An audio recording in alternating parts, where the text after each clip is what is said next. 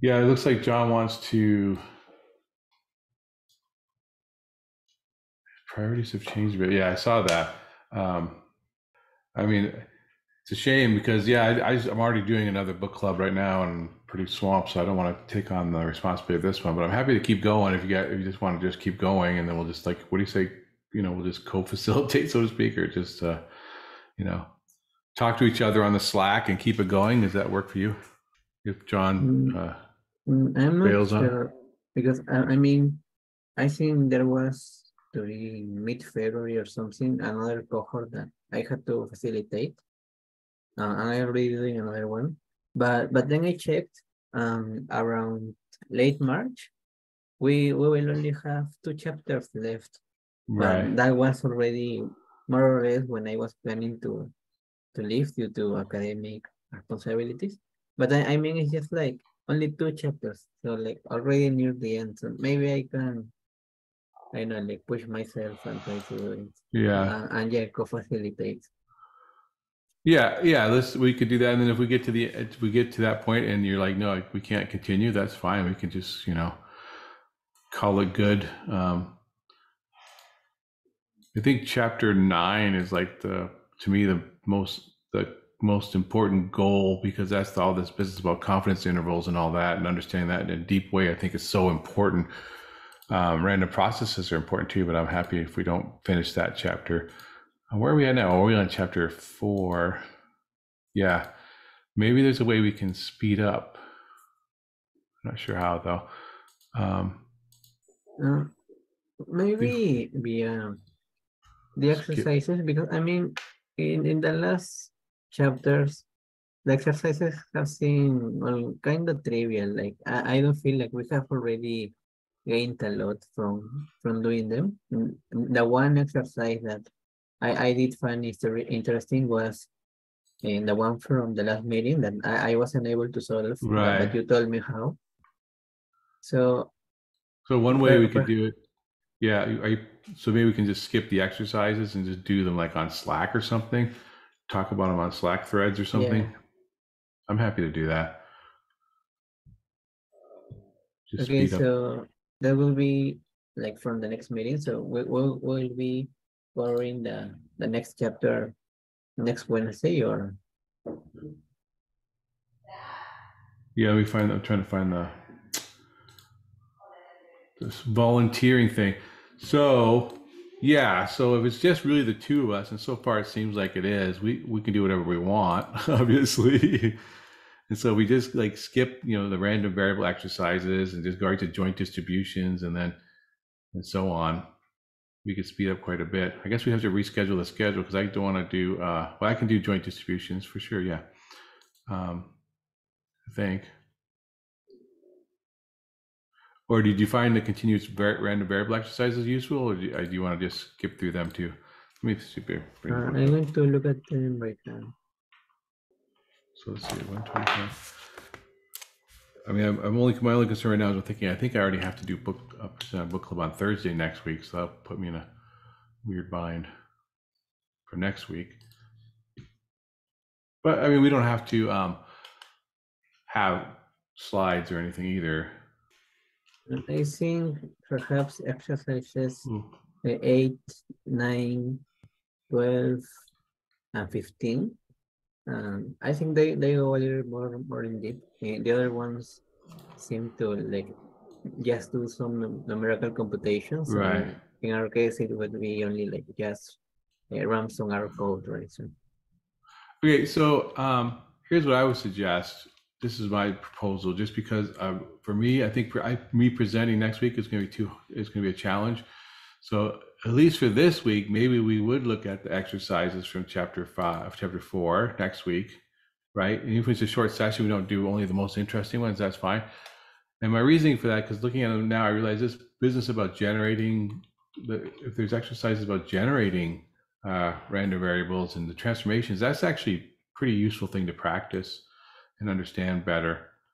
Um, in fact, I think that's probably one of the most interesting things I've run into in this book. I, I knew this from before, but I spent a long time um, so how about for at least for next week, we we do go with the exercise partially because it gives me a break on time because I got another book club I have to present next week, and then from then on we'll just play it by ear and like maybe leave off some of the exercises if if we can.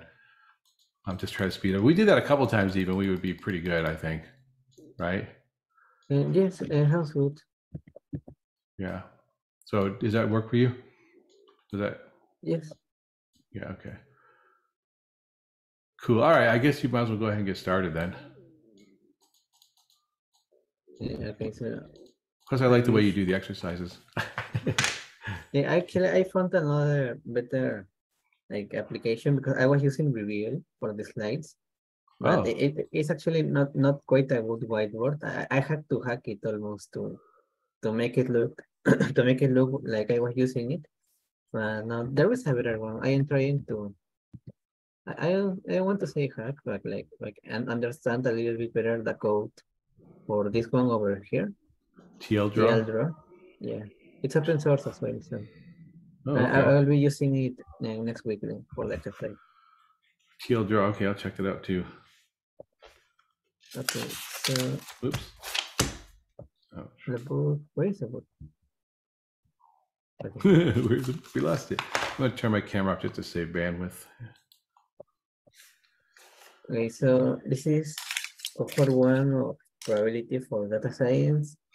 Um, we are in chapter four. It is called continuous random variables. And the main objectives of this section is to define the probability of a continuous event. Then we're going to specify uh, like what do we mean by continuous event.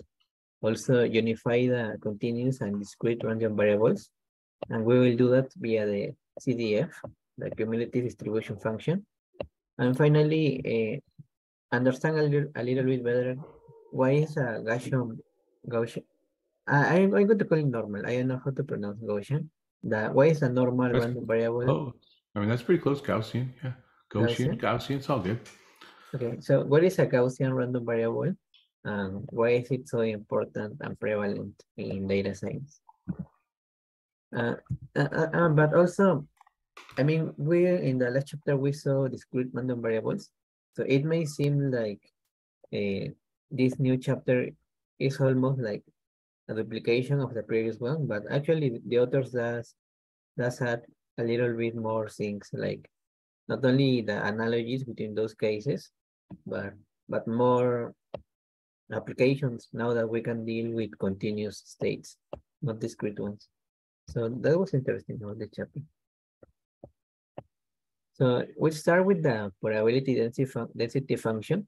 This would be the analog for the uh, PMF that we see in the other one, probability mass function. And, uh, and along this chapter, the author makes a couple of, not mistakes, but his, his language are, sometimes is a little bit informal.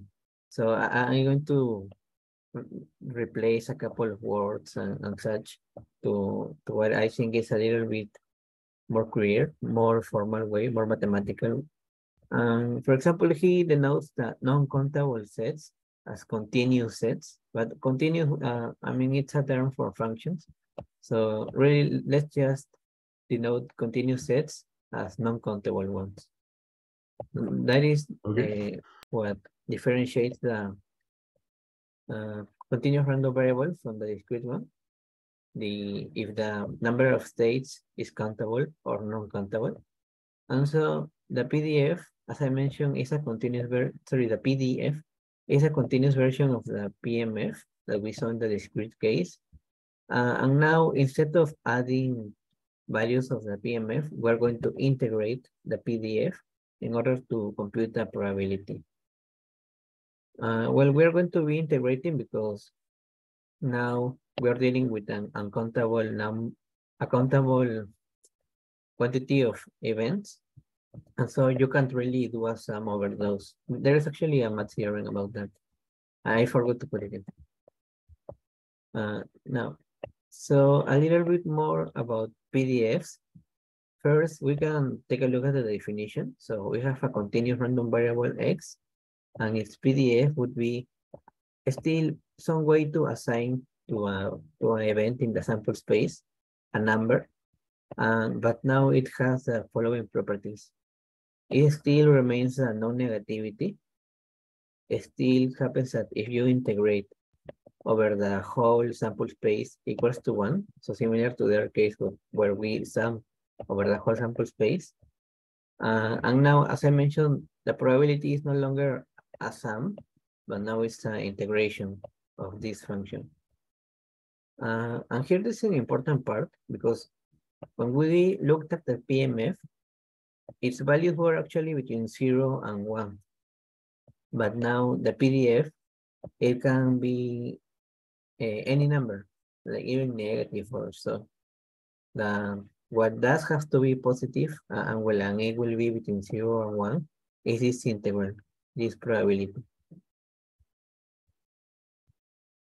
Now, um, continue, continuing with the analogy between PMF, the discrete case, and PDF, the continuous case, uh, the authors mentions that you can transform a PMF into a PDF. For example, we're considering some discrete random variable X, and we have over here its PMF. So if we define this sum over the countable elements of, sorry, of the elements of the countable sample space, and then via this expression, we can define the, a PDF that would that would behave as a probability density, density function of x, but as if x were a continuous random variable.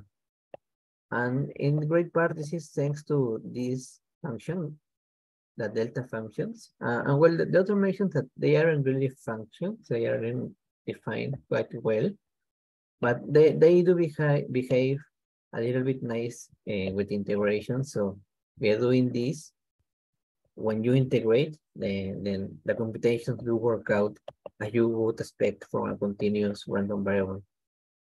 Uh, well, over here, it had to say delta. It's basically like uh, a sudden explosion, it's graphic. Because it's zero everywhere, except at one point where its value is infinity. However, if you integrate this delta function over all the real numbers, then the integral is one. Uh, and yeah, this is basically, there is a, a little bit of fault and just simply integrating this this expression, uh, but it's not necessary to go too much depth into it because it's more mathematical than statistical.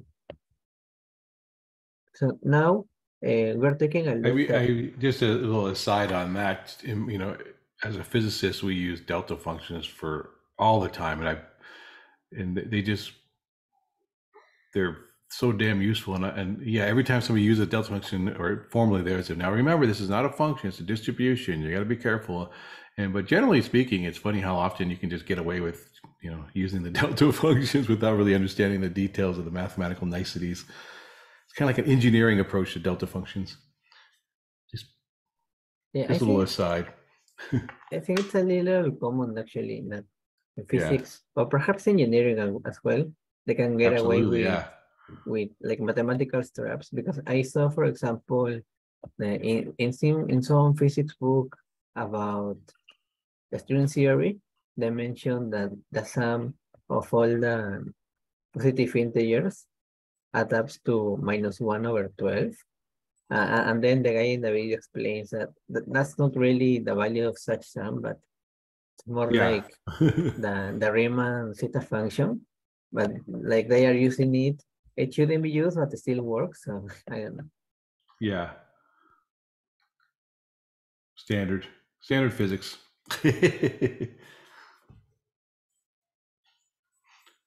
okay, so in this next section, uh, again, we do an analogy in the discrete case, and we define expectation that is kind of like a mean in the moments and, and the variance. So the, the definitions, they are really going to be quite similar. And for example, expectation of this continuous random variable x uh, is this integral, where are, still we are taking some value and ponderating it uh, via the density function, but the ponderation becomes like achieved thanks to this integral. Uh, and still the, the expectation operator, it still remains And it, it still have some of the nice properties that we saw before, like scalability and this additive property.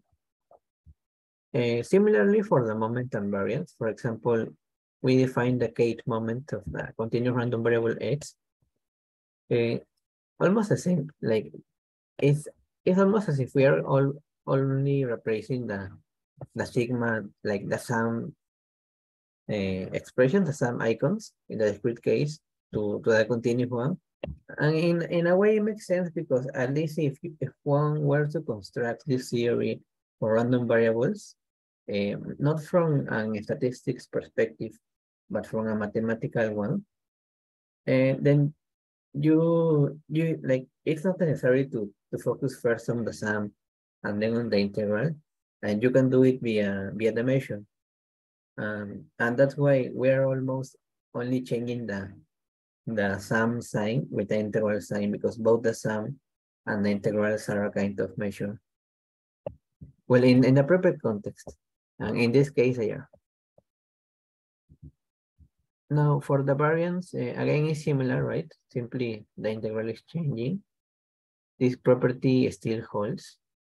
Uh, similarly, if you transform your continuous random variable via some mapping x, then the expectancy is really only, at least in the calculation, it's only affecting the value and not the PDF. No, sorry, not, not the PDF of this value. When we calculate the, the expectancy, then we are going to see, yeah, yeah, uh, how does the PDF of a random variable change after you transform it? But at least in the calculation over here for the expect for the expectancy, it's not changing. Uh, uh, this, this part, actually now it becomes a little more, a little bit more interesting.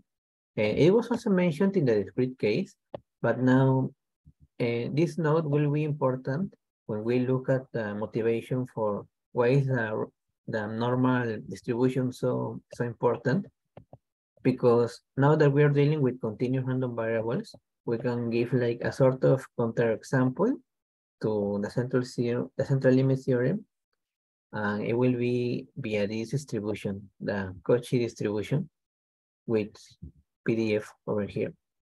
As I mentioned, it's not really a counterexample because uh, in order for the central limit theorem to apply, uh, usually one assumes that uh, the, the distribution that you are considering, it has a finite expectancy. Uh, and then it all works out but such assumption is usually not mentioned. Like if you were to read perhaps about the central limit theorem in some not too formal book or or context. So I, will I will show a little bit more about this pseudo counterexample in, when we get to the end in in this article. Um, for example, we had, uh, now the test that I mentioned is uh, a random variable x has expectation, that is its value of the its expectancy value is finite if it is absolutely integral, which means that this integral converges, right? It's an actual number. Uh, and now we can use we can use this fact that is actually a property of integrals, not just of the expectancy. And we can use that to to prove that for this distribution, the Cauchy distribution over here, and that it does not have a um, finite expectancy. For example, if we consider the expectancy of the absolute value of the Cauchy distribution, then we, we simply replace, right? The absolute value of x times the PDF.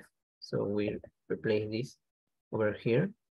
And now because this function is uh, even, we can split the domain into two, now from zero to infinity. Um, now over here, uh, if we consider x to be greater than one, then we can do this operation over here.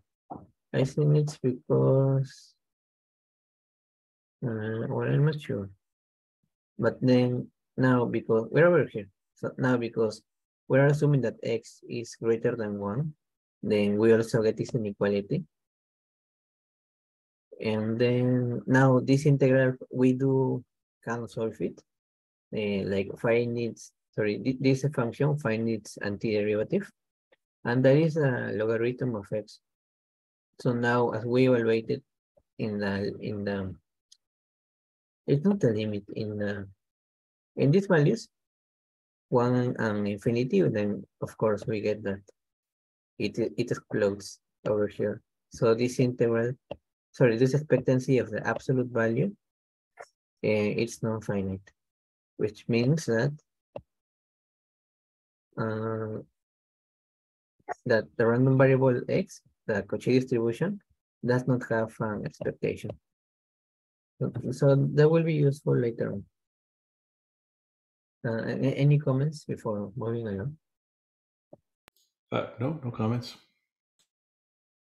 Okay, so now uh, here comes a little bit more interesting part because now we can we can actually explore uh, more in depth how we can move along between discrete case to continue case.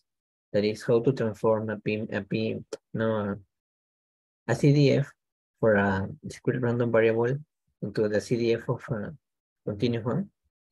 So we first start are defining, well, again, what is a cumulative distribution function, but now for a continuous random variable. And this part is the same. Really what changes is that we are now integrating. So we are taking, we are calculating the area under, under the curve of, of some section of the density function.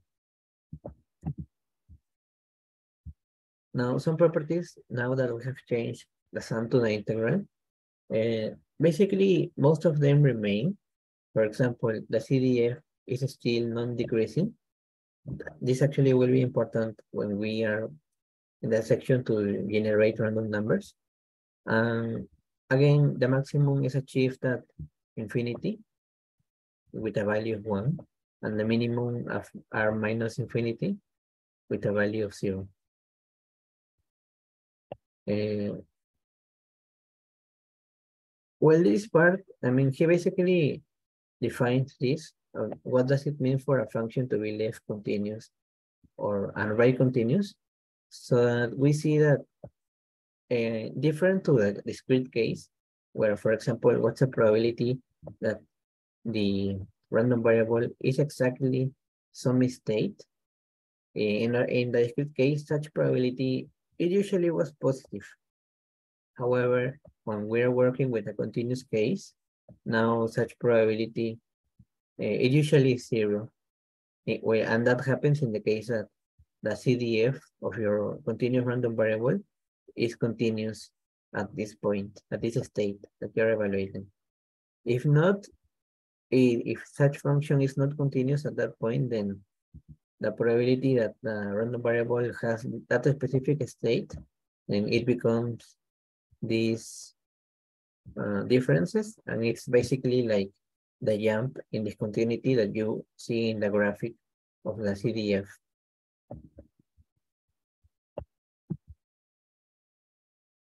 Uh, and this is an interesting part because when we work in the first chapter, like the introduction almost, and there were a couple of theorems that they, didn't seem to to be to be useful. For example, we saw the, well, useful in that chapter. For example, we saw the fundamental theorem of calculus, like how to transform between, no, how, sorry, how integration and differentiation are related to each other. Uh, but, but we didn't really use it, but now we do. Uh, and also we saw over there in that section, uh, the chain rule. So what happens when you differentiate a composition of functions, uh, and that will be useful in this chapter. For example, in the what I mentioned first, that is a fundamental theorem of calculus, is a fact that because the, let me show the formula, because the CDF, over here, because the CDF, it's an integration of the PDF, then via the fundamental theorem of calculus, you can retrieve what you're integrating via taking the derivative of of this part of the interval. Almost like if they were to cancel each other out. Uh, and that is what we're seeing over here. You can retrieve the probability density function if you take the derivative of the of the CDF, but only, of course, at points where the CDF is differentiable. If it is not differentiable, then again, then the delta show up and, and you get this value that as we saw. Wait, if it is not differentiable, is it not continuous? No, no, it's not true because there are continuous functions that that are not differentiable. Okay, so uh, right. ignore that. Uh, simply, if if if the CDF is not differentiable at some point, and, and the PMF gets recovered via this expression.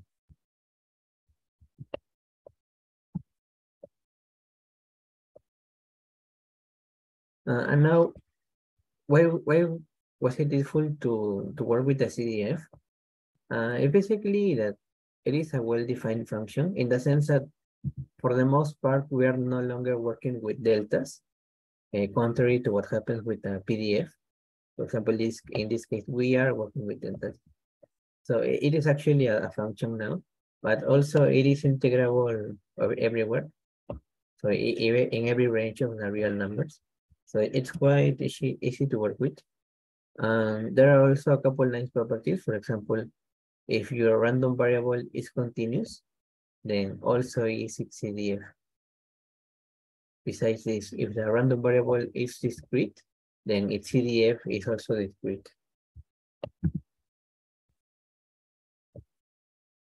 Mm, now, well, I'll get along with the next section. Uh, we saw that for random variables, uh, they tend to be useful, for example, to, to represent some kind of limit objects.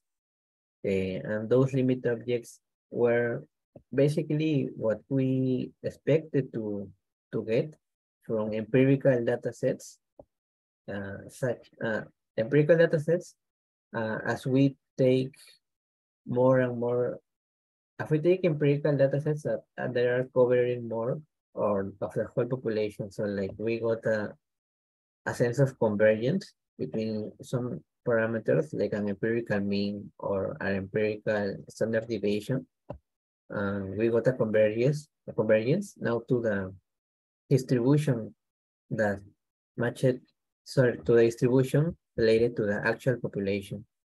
And the convergence was to the actual mean of such distribution or perhaps to the actual standard deviation of such distribution uh, and that sense of limiting objects, limiting parameters from sample to population, and they still uh, happen with the continuous random variable. So really what we see over here is simply how does the definition change?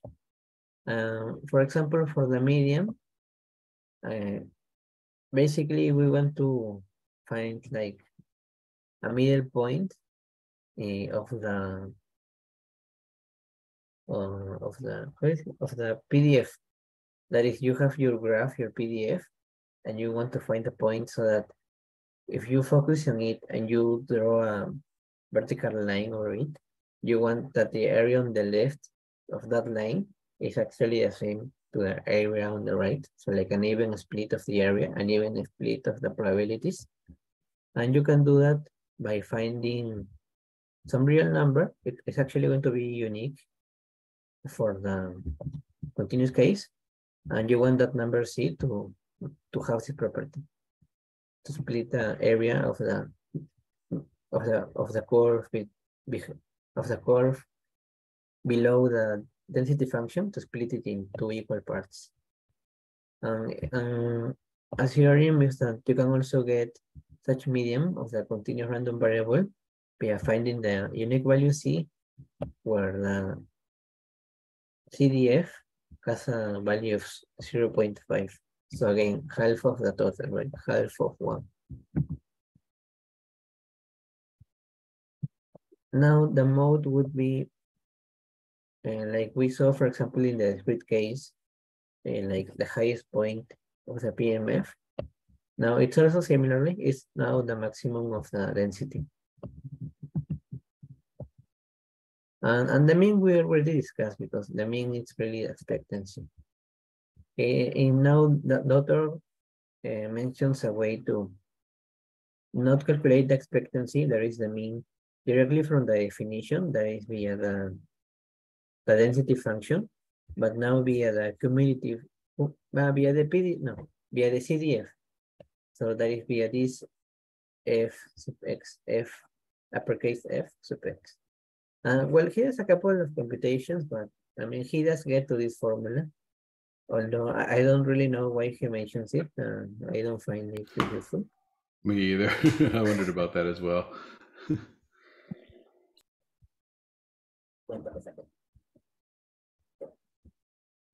so now moving along to the next the next section, and that is now actual concrete examples of continuous distributions. And I, I forgot to mention in, in the first part that, that I mean we are we are already accustomed to continuous random variables, uh, and uh, the most simple case would be uh, when we are calculating areas or lengths or volume. Uh, well, they are also a kind of random variable. But now to actual random variables like more related to statistics, um, let's start with the uniform random variable and exponential one. So we're here. We okay, we define it, the uniform random variable. It's going to to basically give us a number between A and B. Well, we first choose some two numbers A and B, and then we're going to pick some number between them.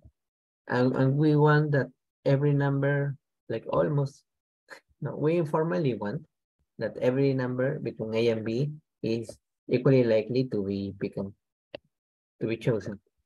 So for this continuous random variable, this is its density. As you can see, it's behaving like a, a way to calculate length because it is actually the length of the of the of the interval a to b and if now if the argument is not in ab then i mean we are not really picking a number from there so the density becomes zero uh, i think actually different variable I don't never mind. I, I was I was about to make a comment about Lebesgue Lebesgue integration, but uh, now I'm not quite sure. So perhaps I don't say that. Now, for for this distribution, then we can calculate its expectancy and its variance. And if we want to use it uh, in R, let's say we want to model the uniform distribution with parameters a, with, sorry, with parameters zero and one then we can use the unif and then D to, to denote the density. So in this case is density of the uniform of the uniform distribution. So we simply calculate, right? Uh, we're going to, to evaluate the density over points between minus one and, and two. And because the parameters are zero and one, when we look at the graph of the density for numbers smaller than zero, and the density is zero, and for numbers greater than one, that is greater than our parameter over here, then again the density vanishes. But over this range from zero to one, that define our parameters, then it is constant because they are getting, those numbers are getting picked uniformly. Uh, and now to, to work with the cumulative. Uh, it's similar to as, as we saw with the discrete case. You have your, your R notation and you simply change the D to a P. I don't know why P. It's supposed to be cumulative. Well, it doesn't matter. So now this is simply a graph. Zero below the first parameter. One be one for the one for number greater than the maximum that you define from, your two parameters, and then and then it's just a name. because over here it was constant. Uh, this is actually, this part is very interesting, not this one, but when we define a way to generate random numbers, because we're going to be using the uniform random variables. Um, now, before spoiling too much, now for the exponential random variables, uh, this is our definition. We, we get that via the density function. This expression that perhaps it's it reminds you of when we saw the Poisson distribution. And it actually it is related. Uh, I want to mention this before. So, for example, we saw that uh, for the Poisson, that, that is a discrete random variable. It describes the number of, of events that happened in a certain period. For example, in, in, some, in some interval of time. But now it turns out that the exponential variable that, that we are seeing right now, uh, that is actually the interarrival, interarrival time between two consecutive Poisson events, uh, which basically means that it is this exponential variable is telling us uh, how much time it takes uh, to go from n Poisson counts, so like n events registered for the Poisson random variable from now from n to n plus 1. And I think there is a generalization of this from m to n plus k, and you change something over here. I think it's a beta random variable. I don't, I don't remember. But, but yeah, this is, this is related. Yeah, but this is related to the Poisson. Uh, well, this is expectancy variance. And now to use it in R, we use the X for the density. We are, we are showing the density of exponential distribution with parameter lambda 1. Um, basically, it decays in this way. Uh, also, lambda stands for the rate of decay. So greater lambda, uh, faster decay. Um, now the cumulative distribution function for this random variable looks as follows. Uh, now comes a more interesting part, and that is for the for the quite popular distribution that those are sorry that is the Gaussian random variable. It's also called normal random variable, uh, preferably by people who are not quite sure how to spell Gaussian. So now I will I will call it normal. So it is more it's a, it's more it is one of the most important continuous random variables due to its wide use among all scientific disciplines. Uh, and well, it's going to be quite used because of uh, a theorem that we are not we are not going to go quite deep into it in this section. But I think he said that in section six or five, they're going to to try to prove it. Okay, so he basically gives a, like, a brief overview of why that theorem works, but that is going to come a little bit afterwards in this chapter. So now for the normal distribution, it has two parameters. That is actually its actual mean and it's in its variance. And the form of its density function is as follows. So uh, I think I forgot, I know I didn't forget. So this is a notation. You can use Gaussian or N for normal. And as I mentioned, really the parameters are its expectancy and its variance. So it is it is quite common, uh, for example, in in data analysis, to if you have some some distribution that seems to be following a, a curve, that is almost like a normal distribution, it, it is quite common to standardize those values. So like independent of the range, perhaps they, they even go up to 10,000 or minus, I don't know, minus a million. To stand, standardize them in the sense that after transforming such, such function, now the, the final distribution looks like a normal a normal distribution, but with mean zero and with the standard, oh, sorry, and with variance one. And that will be useful because of uh, this thing over here. I'm going to explain it a little bit later on, but it goes to it's it's related to the fact that if we want if we want to find the antiderivative of the PDF of a normal distribution with parameters zero and one, then really the anti antiderivative of this function, I think it has been proven to be impossible to express in a closed form. And that mathematically means that you can't express it in a finite number of steps, where those steps consist of, for example, summing or sum or product of some basic type of functions. Um, basic in the sense that they are, for example, uh, exponentiation, logarithms, uh, taking radicals, in that sense. So almost like a polynomial-ish, but with, with, with a couple uh, more cases, like also exponential, also logarithm. But yeah, like we don't have like a, a nice pretty formula for the derivative of this, and it doesn't exist. So, so now, now coming to the fact that why is it troublesome that this antiderivative doesn't exist? Because if you're trying to calculate, for example, the probability no, related to some normal random variable, well, that's going to require you to integrate the density, the density function, but you don't have an anti antiderivative, so it's not like you can simply take a function um, and calculate it in two values, right, in the extremes of the of the integral. But what it is done is first a transformation that I mentioned. You convert your values so that they have now a mean of zero and a standard deviation of one.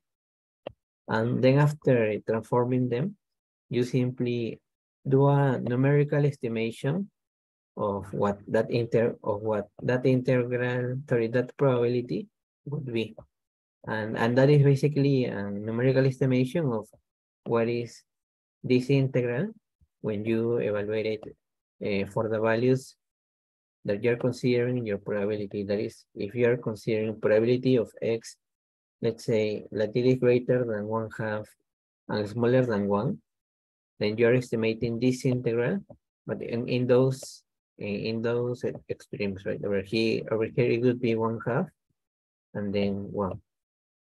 So the, the estimation, the numerical estimation for this integral is what we will be very useful to to calculate the the, the actual probability of any normal distribution if it is standard, that is, if its parameter are this, or if it is not. If it is not, simply standardize it. Uh, now, to, to use it in R, it, that, the actual notation changes because as we saw in the book, he uses a notation that you say uh, Gaussian, then the mean, and then the variance. But at least in R, when you are going to use this, you have to, in this case, for example, we're going to plot the density. You put the mean and then the standard deviation. So like the square root of the variance. Uh, and this is how it looks. This is what I was uh, referring as a bell curve. Uh, and now to its, now for its uh, PDF, no, for CDF, it looks like this.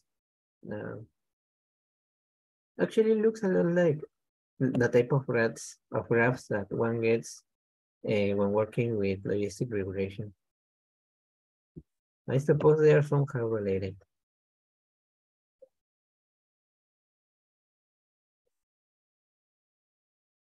And similar, similarly, uh, the other then proposes that, well, he mentioned, sorry, that some high order moments, that is, uh, greater exponents of some random variable. Uh, they tend to be useful when analyzing data. And so he mentions two in particular. One is skewness, and that is useful to measure the asymmetry of a distribution. And you calculate it this way. You have your distribution X, its mean U, and its standard deviation sigma. So as you calculate this expectancy, you get a skewness. And the way we interpret such values is that if it has a, skewness of zero, that is because it is symmetric. If not, then it is asymmetric, but also the sign of the skewness told you something. I, I don't remember quite right. Uh, and now again for the kurtosis, we are considering now another moment. Now we're considering the exponent fourth, the sorry, the fourth, no, the exponent to be four of this expression. Uh, as you, and as you calculate such expectancy, then you get what it is called a kurtosis. And what it is measuring is basically uh, like if the tail of the distribution, it is quite long or not. For example, what, what I mean for tail is what we're getting over here. This part to the right. It, it is almost vanishing, like zero values, but sometimes those regions where the value is zero uh, of the density, they tend to be quite large. So to get a sense of if if if such type of regions or or such well, well which denote like the tail, we are labeling as a tail. If they are pretty big, then you can use this uh, parameter. It's not a parameter. Well, this value, the calculation. Uh, well, he mentions it. If you calculate it for the Gaussian distribution, you get three. Uh, if you were to calculate it now with a, an actual data set, so like a finite case, then you simply approximate it as follows. Well, I don't know why he mentioned this. It, it really wasn't useful in the chapter. Uh, and now this part is interesting. Ah, there's not much time. Ah. Well, basically, it's a central limit theorem. I mean, you already know it. Probably most of the people who are watching the, what sorry, who will watch the video already know it. So uh, perhaps what we can take from this is that when we are considering some distribution x and then add it many times, such such a additivity got transformed sorry, what, what was the, how, how does, how does the density change now, now of the sum of these random variables? Uh, we could measure such change now, not with the sum, but with the convolution, because if you take two random variables, x and y, and you add them up together, then it, it turns out that the, the density of such new random variable is actually the convolution of the densities of those individual random variables. And the convolution is defined as follows. Uh, so now that we're, we're working with convolutions, I mean, we're getting from a sum, we're getting now an integration and it looks pretty ugly. So to, to convert now this sum to something more manageable, you can use what is called the Fourier transform. And it will be useful because it will convert this convolution, this operation into a product. So at least he mentions that then these two, these mathematical tools, the this formula, this formalized uh, definitions and such, they will be useful in later chapters so that we can get a, a clearer sense of what it means for the distribution of a sum of random variables to converge to a normal distribution. Uh, perhaps I skip this because I, I want to get I want to finish. Uh, let me see. You're gonna uh, skip uh, what the functions? Yeah, um, it, it turns out to be quick, so it's okay. Yeah, so you can I, just go fast. Yeah. Okay, so as I mentioned, when you have some random variable x, uh, of course you can apply some function to it. But now the question becomes, now that we have transformed a random variable, how has its PDF or its CDF changed? Uh, and that is when it becomes useful what was mentioned in the first chapter. And those were, for example, uh, the chain one. we already saw an application for that theorem, fundamental theorem of calculus, but now via the chain rule, we're going to get that the density of the transformed random variable is going to be the original density that we have, but it's going to get multiplied by this derivative. So basically they are getting scaled up by some derivative, uh, the, the densities. Okay, so this is actually the, well, well, what I found to be the more interesting part. Agree. This, this, section. Like, uh, I mean, I have already seen pretty much all of the content of the book that we have covered so far, probably like all of us, but I, I really had no idea about this part, about generating random numbers. So, of course, why would we want to do that? Uh, well, it's because random numbers can be useful to simulate randomness. So really, they aren't random, like fully random, but they're they are a good enough approximation. So at least explanation that the book gives, uh, I found it like a little bit confusing at first because he skips a couple of steps, and he uses a certain graphic that I, I didn't even get uh, like how to interpret this because in, in this part, right, about generating random numbers, and uh, well, he mentioned this, it supposedly makes sense. I, I didn't really, I didn't really understand it, so I, I, I changed a little bit the approach or of how to generate them. In this case, we're going to generate random numbers via an inverse problem, and by that, by that I mean the following. Uh, so it turns out that it isn't really difficult, at least to, to solve this case of generating random numbers. If you're only focusing in generating random numbers uniformly between zero and one. Uh, well, I don't know how to prove that, but let's just assume that. Uh, the author says it's true, so I will believe him. Okay, so now we, we can generate um, random numbers uniformly between zero and one. Uh, now, we already solved one case, that is a uniform distribution with parameters 0 and 1. So now let's take a look at uh, a more general example. So suppose that we want to generate number random numbers, uh, but we want them to come from another random variable x, some arbitrary random variable. Uh, we're going to denote its CDF as uppercase f sub x. So now comes an interesting part, and that is that because the CDF is measuring probability, uh, its values lie between zero and one. Also, because the, the CDF is actually a non-decreasing function, then if it happens to be strictly increasing, so like it never, its graphic never stays flat, uh, then that, that allows us to correctly define its inverse function, inverse function and that is eh, a way to uniquely map to each output and unique number in the domain that generated that output. Uh, and now this uniqueness of the, sorry, this uniqueness that allows us to define the inverse function is going to be useful now as we combine the stated facts over here as follows. So we're going to generate random numbers for distribution is uh, f of x.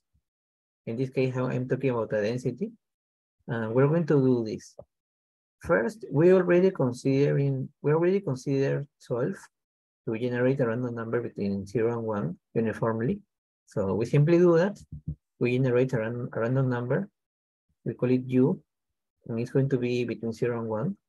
Now, because of this uniqueness of the of the inverse of the CDF, well, well that we're assuming, then we can cal calculate this value. We take our random number and we ask, what is the value uh, what would be, uh, what is the value such that when you apply the CDF to it, then you get u. Such value is going to be this. And now it happens that uh, if you consider, right, uh, like still like a, a summary of, of what we have been doing right now, it happens that if you consider three random variables, x, y, and u, u is simply the uniform between 0 and 1, and you define y as this inverse of the CDF of x, and you apply such inverse uh, to the values that you're generating uniformly, then the CDF of y is going to be precisely f of x, which means that as you simply generate random numbers between 0 and 1, and then you again simply calculate what is the inverse of the CDF of x of such random numbers, then those values over here, they are going they are going to follow the distribution that you wanted. That is the distribution f of x. So uh, I, I know it's pretty impressive. You simply solve like an easy case, and then you, you take a fact that the inverse, at least in most common cases, like in real life, uh, its inverse is well defined. So simply by doing this, you're you're already generating random numbers from the from the distribution that you wanted.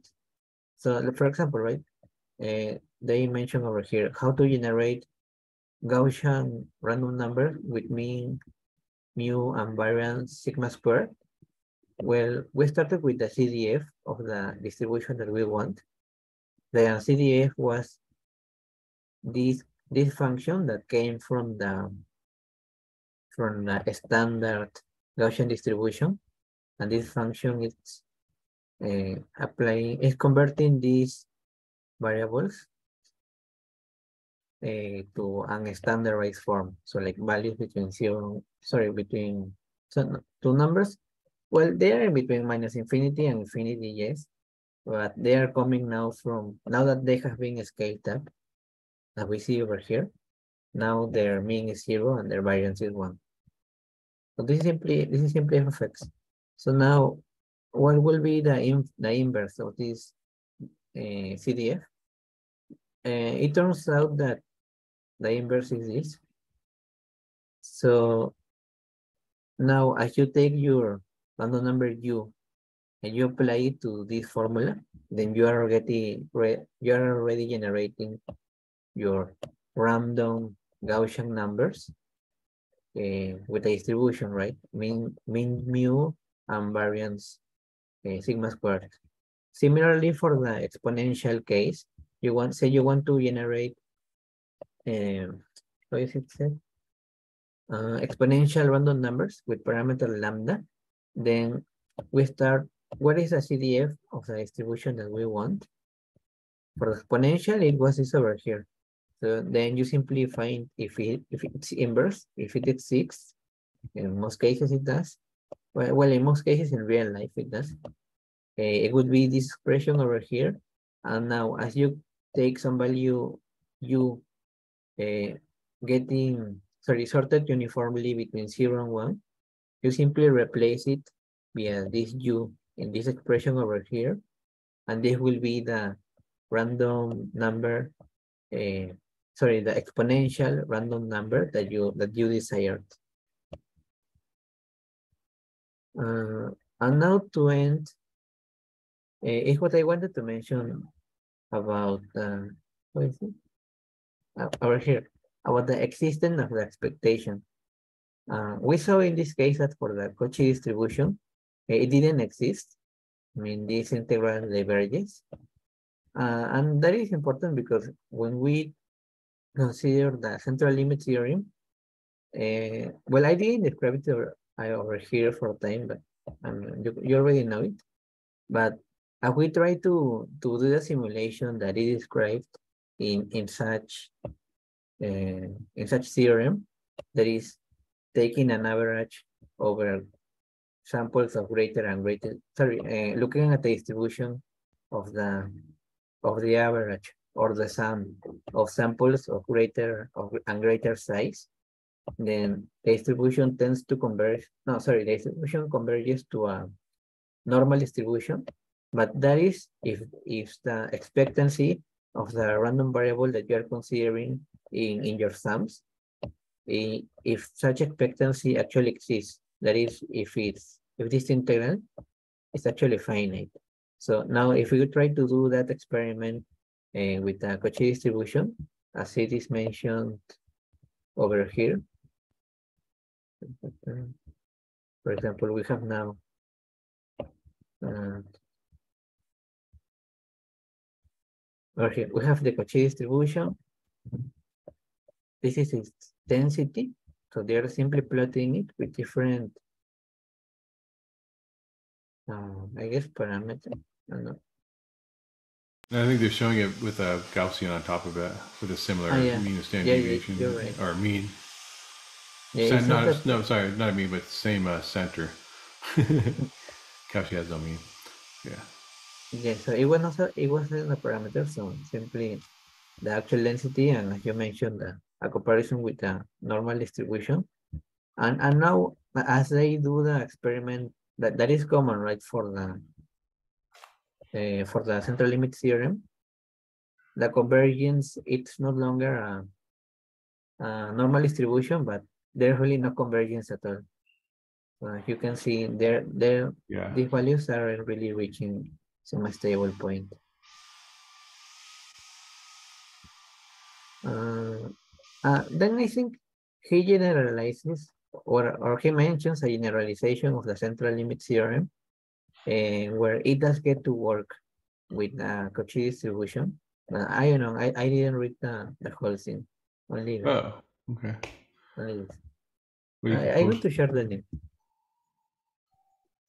Uh, and that's really it. Uh, thank. Oh, thank you, sir. Cool, great. Yeah. Also, if you could uh, post in the Slack like which exercises you're planning to look at. You mentioned in in verbally, but I forgot already. So if you could just post it Okay. in the Slack which exercise you want to look at, and then uh, yeah, we'll pick it up next week, man. Thanks, appreciate it. Good Okay. job, very clear and Thank you. thorough. Well, um, bye. See you next week.